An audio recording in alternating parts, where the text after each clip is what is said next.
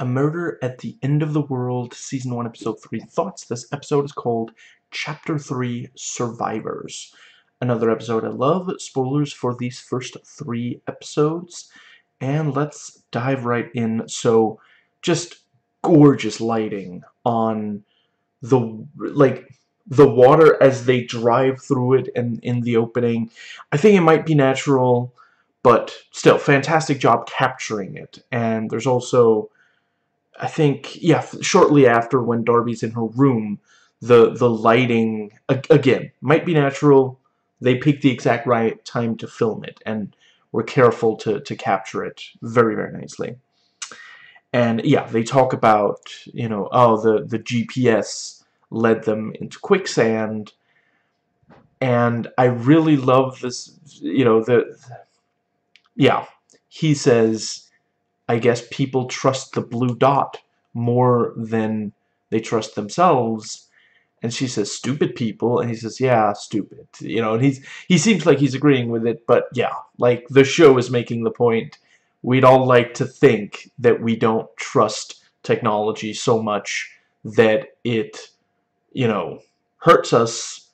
But if we're being honest, you know, that's probably not quite the case. And yeah, you know, and especially someone, you know, Darby is constantly using technology. So the idea that that might hurt her is, of course, like she would have to completely change her life.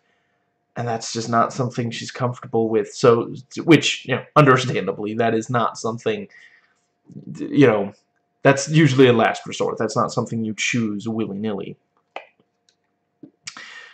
and yeah, pe keep, people keep tagging each other out to, to talk to Darby.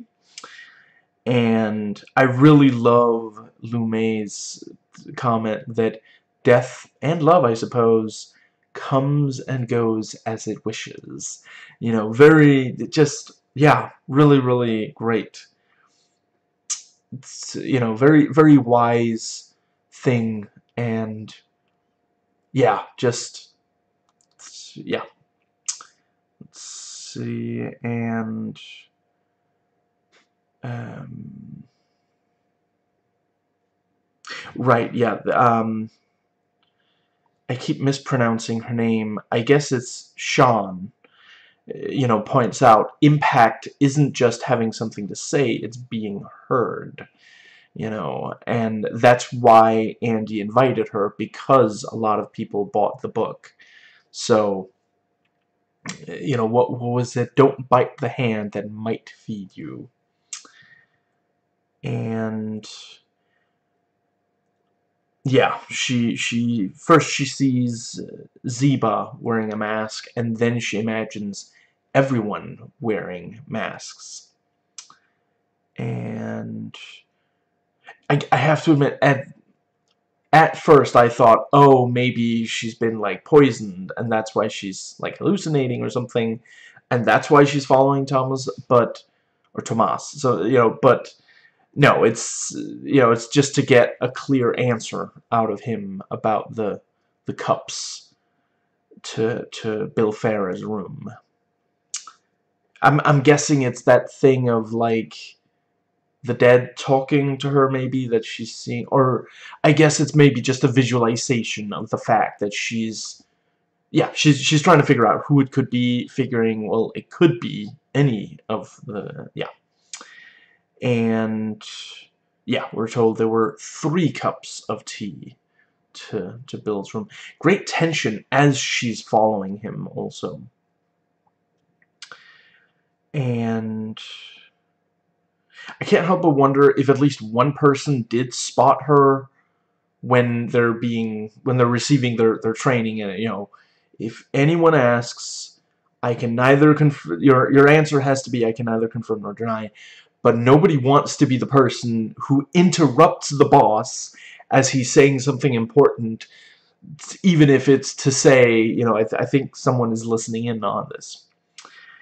And yeah, the um, um, Darby figures out the various connections to to Bill. And we get another one of those like Ray doesn't understand um you know what's the word? He doesn't understand the yeah you have to you have to make clear what you what you say. You know so she's like so what's his deal? And and Ray's like I don't I'm I don't have any information on him making on him negotiating any deals at the moment you know. And yeah and you know she says I get is anyone here normal? And he responds no no one. Not even you Darby. I have to admit I thought the response would be define normal because that's something we've come to realize in more recent years. There is no normal for us people. You know there's there's like normal for various things in nature but there's no human being who can be accurately described as just normal. And yeah the the um, she spots someone going out into into the snow and yeah very sus. It's no wonder she follows and I love the bit where she accidentally like I, I guess it's like rocks that she that, that come loose and fall and she has to like hide and the person in the mask and and you know it was you could sort of tell that he was wearing a mask from another shot earlier but once he turns around and walks uh, you really see it you know, and because the mask does serious damage to his, you know, as as he's wearing and not permanently his his peripheral vision, he can't see that she's there. And it is one of those things. I mean, just because there's rocks falling doesn't mean that there was a person there to loosen them. It could be just random, you know. Great tension as she stands there hiding and because he's so close, she notices the footwear at, at the you know bottom of the lake. I'm glad we cleared this up, which is of course you know love these little you know that's a that's a clue. That's something to yeah and he signals in Morse code, which we know that she understands from, uh, you know, I think it was episode 2 that that was introduced, so yeah, and and that is something you know if you're really into to technology, yeah, that's you know that's something you might have have picked up. You know, Morse, binary, these kinds of things, and yeah, she yeah she comes back to the room and Ray helps with the you know the process of, of heating back up with some advice I quite appreciate the, the detail that he points out. You know, don't warm up your extremities immediately. If you do that, that could actually cause injury. And that's something that we didn't always know. You know, because you think, well, it's so cold, you know, my hands are freezing, I have to get them warmed back up. And let's see, I, I read about this once. I believe the thing is, if after you've, you know, the thing is, if you're if part of your body is extremely cold, it might there there might be very little blood flow to that part of of the body, you know, and you heating it back up is ensuring that there is more blood flow. And if that happens too fast yeah that you know the body can't completely keep up with that and it could cause injury and yeah. Great little you know she she she's like okay if I have to stay up all night you know she she makes some some coffee opens the the you know mini fridge gets out a coke and that triggers a flashback which yeah it's it's very accurate to you know if if you if there's something that you think of when you think of a person and they've recently died and that thing comes up you immediately think of them. That's completely psychologically accurate.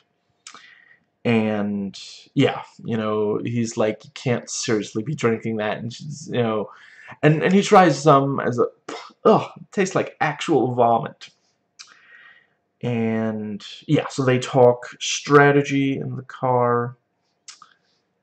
And yeah, and back in the present, which is you know another great scene, and again like illustrates the the the analytical thinking of her, and also yeah, you know it is this is the she doesn't have a co-conspirator in this because her you know fellow sleuth is dead. So the again I'm saying her referring to Darby Hart the character who identifies as female not Emma Corrin who I understand identifies as they them but but yeah so Darby does not have anyone to to talk to about this so instead we get it in the in the form of this flashback, you know, how to proceed now. And let's see the the um, yeah, she right. So she talks with Lee some and she explains about the the mask which you know, I think I I I have to admit I didn't pick up on that, but I think I have now that she explained, hearing her explain, I think I have seen it before. Yeah, Hong Kong protesters subverting the, the facial recognition.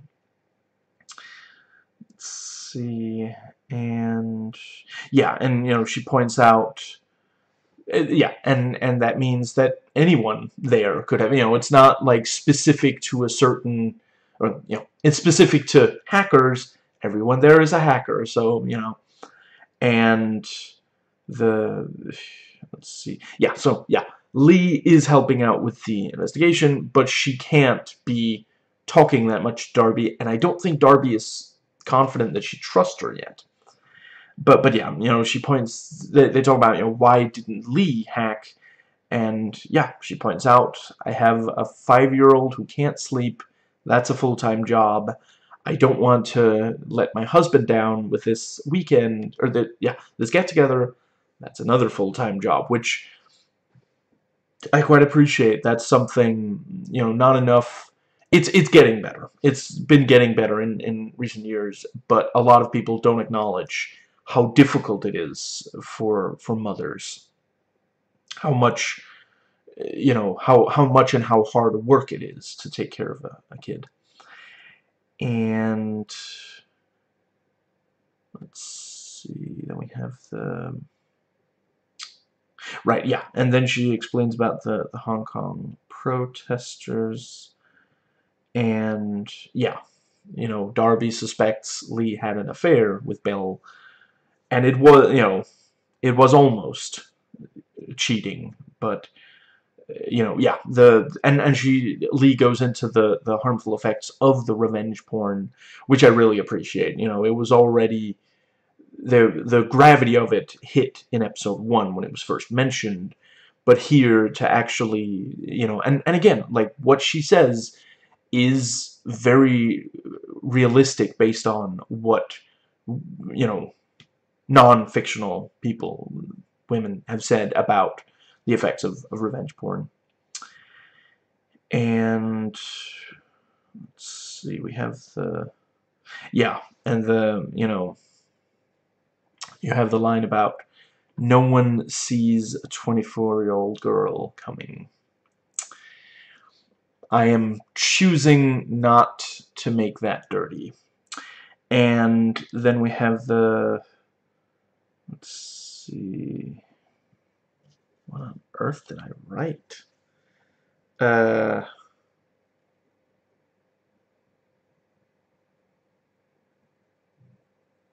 Okay, I'm gonna I'm gonna have to move on. But the oh right right yes, you know the the yeah Darby agrees to you know it's okay that Zoomer sleeps in the bed, and then she wakes up at 9:51. Lee and Zoomer are gone, and she slept through the alarm that Ray set. So we have yet another scene of Darby waking up, and there's something off. There's something going on that that shouldn't, you know. And it's like it's possible that there that this that there's not like ill intent that it's not that someone did something you know, if she's awake for a really long time and then she finally falls asleep, she might oversleep, you know, but yeah, the fact that the it's it's a it's happened at least once in all three episodes now that she'll wake up and there's something. So yeah. Um let's see. Yeah, and there's there's a knock at the door and Ray helpfully informs her there's someone at the door. And yeah, she gets the the coat and note that says, you know, be there for a glimpse of the future. And yeah, he says it's unforgettable. And yeah, Darby tromps right up to, to catch up to, to Rohan. And yeah, he admits, you know, he's been avoiding her. You know, Bill got him sober, and now he's gone back to to drinking. And yeah, he points out, you know, which I, I don't, I'm not sure I've heard this as accurate, but it certainly does, it, it makes sense. I could imagine it being true. The climatologists, you know, because they know how bad the, the climate, climate change is, you know, a number of them simply buckle and, and end up using something to, yeah. And let's see. Yeah and you know Bill helped by pointing out you know human beings are not the center of the universe. Death begets new life. And that is true and that is something that can you know that can maybe help uh, you know it's it's important to not despair because that doesn't help anyone we can't fix things by, by you know, doomerism. And I'm not saying it's easy. I'm not saying that I haven't myself struggled with that, but yeah, I, I really appreciate the, the show pointing that out instead of just leaving it as, oh, well, you know, it's, it's hopeless. Utterly, utterly hopeless. And then we see what they were going there to, to show off, and it's a swarm of robots. Sounds sinister when I put it like that, doesn't it? But yeah, the you know, they're building bridges and making sure that like ah, what's the word? Yeah, they're they're making they're they're doing they're, it's basically a workforce that you know, means, you know, what was it Oliver said, that this means that, you know, when it gets especially bad, they can, you know, it, it allows us, or I guess it's before it gets especially bad, but it can allow us human beings to sit and, and figure out solutions instead of, you know, being stuck on the struggle bus the whole time. And, yeah, we we go back to the focus on the footwear. And we have David being a dick to uh, Darby. And you know he says it's because he's rich. And she says if you were poor you'd still be a dick. Which I you know I, I feel like that's it's that thing of power doesn't corrupt power reveals you know I personally I sometimes agree with that, but I do think that it's more likely that, you know, yeah, some of the some of the people who've done the most damage are the the richest and most powerful. And yeah, she, you know, she sees the the she was watching the footwear. That was part of why she was trying to get rid of David. And then she spots that it's it's there that she sees the footwear missing. And you know, okay, looking around the room, who's got the, you know, and yeah, she spots them right next to, yeah, on the person right next to her, and it's Rohan, and then she repeats the Morse to to let him know, just very very nicely done, because there's yeah, there's even yeah, that means she knows that he knows something, you know, very very tense, and yeah, you know, he he might be innocent, but he definitely knows something. And I really appreciate that by the end of the episode, we know at least some of the yeah. You know, apparently some some critics didn't feel like this uh, show moved quite fast enough. So far, I've been pretty happy with it. You know, I, I feel like we're getting enough enough clues, enough red herrings that we're you know it's it's moving. Let's see, and I also saw someone say, you know, someone felt that there was there were too many flashbacks. Some said that there's a lot of flashbacks, but they're a really strong element of the show. I tend to side with the, the latter. I, I don't think it's been too much, at least so far. And yeah, then we see Zoomer playing, you know, and at first it just looks like, oh, it's it's make-believe, that's kind of cute, you know. He's five, he's still gonna, you know, but then the, the, you know, she gets the helmet on, and it's an AR video game, augmented reality. So yeah, very very cool, and yeah, and and you know, he says, you know, and and the you have the line about you know technology's exponential. Yeah, his you know his father is very clearly talking to him about a lot of this stuff. We've seen elements, evidence of that element before in in the first episode also. And yeah, you know, they talk about, you know, oh, he's he's lucky and then he says except for when my parents fight. Did your parents fight? My parents fight about the future. Which is just like, I mean, they're they're both focused a lot on the future but it also sounds a little sinister. You know, there's been a little bit. Every so often, Andy will have a moment where a line delivery or a look he gives feels a little off. Feels like there's something. You know, he's he's definitely a suspect, and him fighting with his mother, with with Zoomer's mother about the future. You know, kind of sounds like he has some idea about what he thinks should happen, and Lee, a young woman who has a, a young son and who has been, you know, yeah, has has been the victim of misogyny, she thinks what Andy is saying is completely wrong. You know, that does make it sound like, you know, he might be, you know, we, he's one of these rich, isolated people, and, and he has ideas that he thinks are going to be the future, and, you know, maybe not everyone would agree. Yeah, he, he might have some really, like, horrifying, inhumane idea for the future.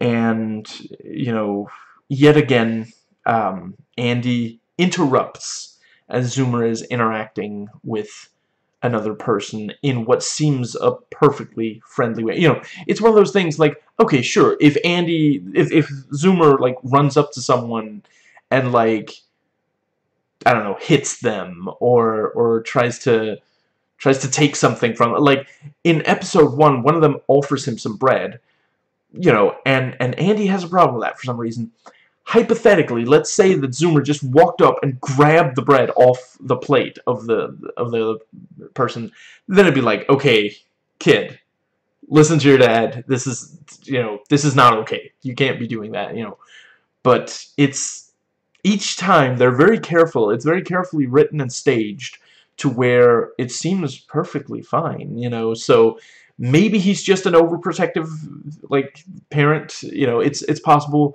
or maybe he's said something to Zoomer that he doesn't want others to hear. Because he has not yet intentionally let Zoomer be around others. Like in episode, you know, here, Zoomer, you know, went off by himself playing. Because that's, you know, and, and Andy interrupts the moment that he catches Zoomer with Darby. In episode 1, he specifically says I'm sorry Zoomer's here, but, you know, he kept arguing and arguing, and eventually I said, okay, you can join us for dinner.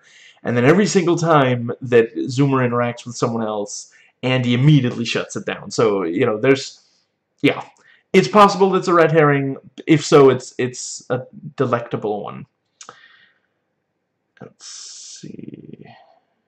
Although I guess originally red herrings, the way they're used probably weren't cooked. Anyway, yeah, the and we have the yeah yeah um I really like that Andy says to to Darby, "Do you know Walt Disney?" And she says, "I mean, I know a few of his movies." because that's the thing, you know, she's she's 24, she's watched Disney movies, but he's this, you know, seclusive billionaire, uh, you know, middle-aged or something. He's thinking about Walt Disney, the yeah, the person who predicted certain things. And and it is, you know, I believe everything that Andy says in this episode about Walt Disney is completely accurate. I I've, I, it's been a while since I, I, but I have heard this stuff before, and it really is, like, it's wild to think, you know, considering how big, you know, and it, a lot of people still don't take animated feature films completely seriously, you know, I, we've seen a lot of growth in that area, though, but it is the kind of thing where, like, like today, can you even imagine, can you imagine not having animated features, that the only animation were short films, you know, there's just, but yeah, he knew that it was possible, he fought for it, seven years later, they, they put it out, and, you know, yeah, it's, it's a huge part, like, there's a lot of people, if you just say the word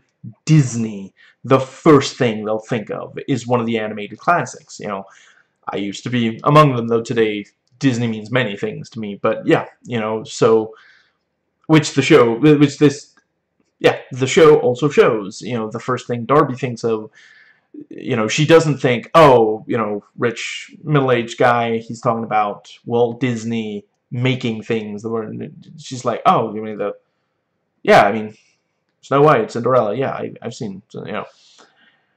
And, yeah, and you have the thing about, you know, oh, he was, like, making trains in his own house, and people thought he'd lost his mind, but then it led to theme parks, you know. And, yeah, you know, they got two hamsters for Zoomer, thinking both were male, one of them was female, and then they started, you know, mating them, and or you know, they did that themselves, and they were, you know, Zoomer was fascinated by the the genetic, yeah, and and and that makes sense because I I don't offhand know exactly how, but I I'm pretty sure hamsters like reproduce much much faster, which you know leaves some of the women unsatisfied, then, you know, yeah, various other animals. So, yeah, hamsters would be a good way to, to note, oh, you know, stuff like eye color and, and such. And I like that, you know, Andy is like, at one point we had like 50, and Zoomer, without missing a beat, says, 67. So it's like, no, no, he's been he's been paying attention to the conversation, you know, whilst also trying to to catch the crown. And yeah, you know, that's how uh, Andy got the idea for mating the AI with each other. I love the thing of the the when we first see Zoomer playing by himself, it looks like, oh, it, you know, I, I know, I, I mentioned, it looks like make-believe. He's like, you know, reaching for, for something. And then when we see it, you know, she gets into it almost immediately, like catching the crown. And yeah, you know, at first it's like, oh, it's, it's right in front of you, know, just walk a few steps. You know, but then it speeds away. The faster she moves, the faster it goes away. And that's such an excellent representation of video games, which I love. It's a medium I absolutely love the moment that you think, you know, it, it, at first it looks like, oh, you know, I can I can definitely do this, and you know maybe early on it goes well, but it gets increasingly difficult, you know, to to keep you playing, and yeah, so that was an excellent it it because like if you go back and you watch the scene, it's you know I I don't think they spend more than maybe one entire minute on the on the AR game, but from from the moment that we realize it's an AR game, but it gets across so much in so little time. And I love the little child-friendly element. Uh, you know, the there's a there's a was that a hamster maybe, but uh, there may be a teddy bear, some kind of fuzzy thing in like a suit of armor, and he goes, "Hello." It's just yeah, that's the kind of thing that's really going to appeal to a five-year-old, you know. And Yeah, and uh, so Andy tells Darby, you know, I think you should go home. I don't approve of you interrogating my guests. And, you know, I, I do really love, you know, she's like, I hacked the, you know, the, the security feed. And he's like, yeah, I, I know. And water's wet and oxygen is breathable. Tell me something I don't know, you know. And the the thing about you know yeah they they you know Ray kept a check kept kept an eye on the the what was it the blood pressure or something like that you know there was a spike four minutes and 36 seconds before the person in the mask showed up. So yeah that's it it can't possibly have been the person in the mask, who we find out, you know, by the by the end of the episode, it's completely clear that was Rohan. And yeah, so the the um, we we see the um, uh, the news broadcast about his death, and I love that he removed the S from Shell all over the world. It's very very nicely done. Yeah because that's the thing like you know when you when you're driving at night and you see you know shell it's like okay you know if you need you know gasoline or a snack or some absolutely disgusting I hear sushi you know that's where you go. But if you're driving at night and suddenly you see a sign that says hell it's like ah you know just so that's yeah very nicely done and that's the you know some considered him a prankster some thought he was an activist kind of thing. And the story they've been given is that he was vacationing alone. Hmm that's very very suspicious that the you know and and yeah that's that's how you avoid getting asked uncomfortable questions. You know you make up a story like that and yeah, and in flashback, we see that the the surviving target, um, I believe Marta, the surviving target of the Silver Doe killer, you know, she she talked to the police and they victim blamed. Let's see, and and yeah, you know, at first uh, she's she's like, why why are you so interested in this, you know, and Darby says, you know, when I was the age of your kids, I thought I really mattered. And then I grew up and I realized I really don't. And I, you know, I want them to grow up in a world where they do matter. So, something like that, you know. And, yeah, that is, uh, again, that's the kind of thing of... I, I, ultimately, it could refer to, to multiple things, but I feel like it's especially here referring to the misogyny. You know, when when Darby was a child, uh, yeah, she, you know, she she didn't yet realize how badly women were being treated. And then, yeah, you know, she she came of age. She realized was the thing about thousands. I forget the number, but I think it was yeah, 40,000 unidentified dead, 20,000 20, uh, of them were victims of murder, and the majority of those 20,000 were women. You know, that's, yeah, that really wakes you up to the to the reality of, of misogyny. And uh, Marta, you know, agrees to, to help some more, stating, I don't want this to happen ever again. You know, and that's again, that's why Darby in the present keeps looking into this mystery. And yeah, so Darby goes to, to Rohan's door and, and knocks. no, you know, do, does not get in, though there's some some noises in there. I, I thought, all, I guess it is possible that already at that time there was something, but certainly late, not long after, you know, there's clearly something going on.